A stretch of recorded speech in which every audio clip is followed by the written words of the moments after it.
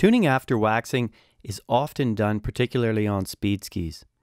Protect the structure with low adhesive tape to prevent any potential marking of the base. It's also a good idea to leave a little wax in the base before taping because you'll need to brush it lightly again after to get any residue or film that may be left on the ski.